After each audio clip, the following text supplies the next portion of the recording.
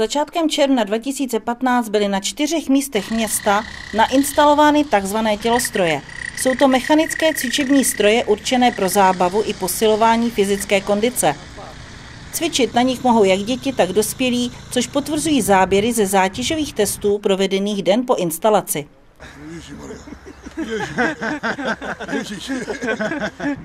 Čtyři stroje jsou umístěny v parku u muzea hasičské techniky, kde již loni byl jeden nainstalován, dva jsou přímo vedle školy, kde lze předpokládat, že je budou žáci využívat, další dva jsou na Střeleckém vrchu před povodňovými domky a poslední dva ještě před Kovákem.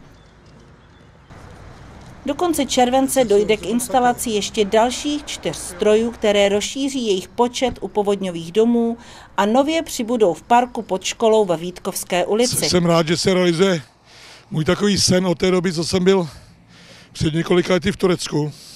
A tam jsem viděl, jak na různých místech jsou takové cvičební stroje, které může využít kdokoliv. My už jsme zkusili instalovat do tohoto místa jeden zkušební stroj dříve.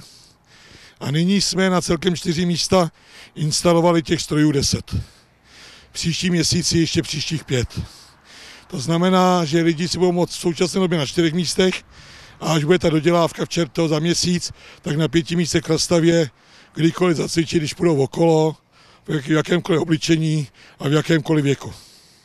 Takže akci jsme rozdělili do dvou etap. Vlastně první etapa, eh, to jsme dodávali teď vlastně eh, koncem května s tím, že ta stála 200 000 korun a budeme ještě dodávat jednu etapu, ta bude za eh, dva měsíce, do konce července a ta bude stát 100 000 korun. Je poslední prvek v tom parku, to je vlastně prvek, u kterého bude ještě instalována lavička, vlastně na které budou, můžou rodiče sedět a pozorovat děti, které se hrají vlastně na hřiště a u toho můžou šlapat. Na závěr si ještě připomeňme v září minulého roku nainstalované workoutové hřiště v parku pod kostelem. Takže nelenošit a cvičit je kde a je na čem. A2, 3, show 2, A2, 3, show 2,